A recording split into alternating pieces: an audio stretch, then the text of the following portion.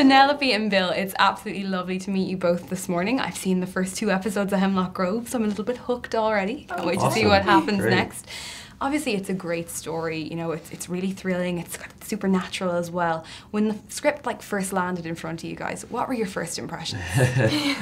Um, yeah, we were just talking about this before. I think we were both at a point in time. We'd kind of both been in Los Angeles for pilot season. And for those of you who don't know what that is, it's basically just a cattle call of actors and scripts, and everyone's scavenging trying to get something made. And it can be really overwhelming. And then when I got sent this script, it was the first thing I kind of, I kind of, yeah, obviously cast it aside as a, you know, another werewolf vampire thing.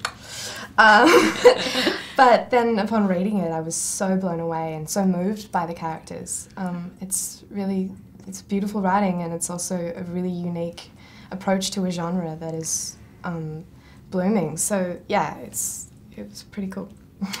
Yeah, no, I, I totally agree. Um, and it's something completely so fresh and, and new and in its genre. Like, and it's, it's so funny with people like if like they, they will not know what to expect if they're like oh Hemlock Grove I guess it's a werewolf vampire show.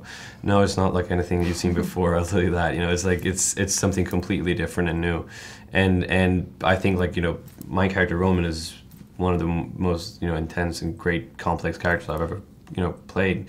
He's so intense, and it's- it's been such a pleasure to be able to work on such a character that goes through so much throughout the mm-hmm. season, and that that that you know that's so troubled and disturbed, and just like kind of battling himself so much was really cool. And obviously, you guys play Roman and Letha, who are they're cousins, but they're also kind of best friends. You know, they're they're they're spent all their time together, and they've an interesting relationship because he's quite intense and she's quite light. Oh, well, Yeah. when you think at the start, did you enjoy you know kind of playing their relationship Oh, out on screen? Yeah, for sure. It was very much a yin yang relationship, and I think it's hmm. almost something that we kind of developed as well. Like we're both so antagonistic.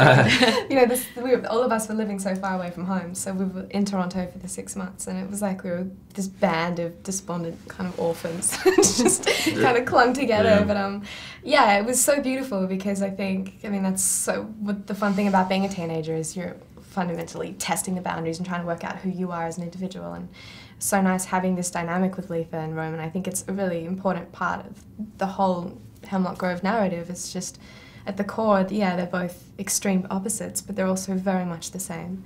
And they're both very vulnerable and they're both trying to do the right thing, Mm.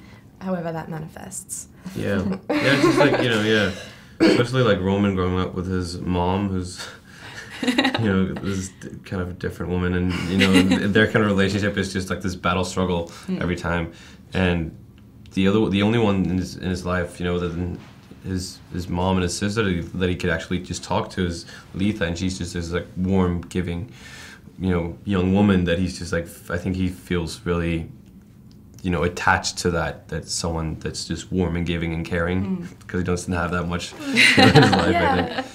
It's like a substitute then, you know, for what he didn't have there already. yeah yeah you Yeah, know, I think, he, I think he really gets addicted to that and mm. you know kind of just someone that's just like hey it's nice to you uh, Of course, Letha isn't the only person we see him kind of teaming up with. He also strikes up this kind of detective partnership with Peter. They want to find out who, who Yeah. really did it. A bit of like an, a Sherlock and Watson vibe going on there. I really hope not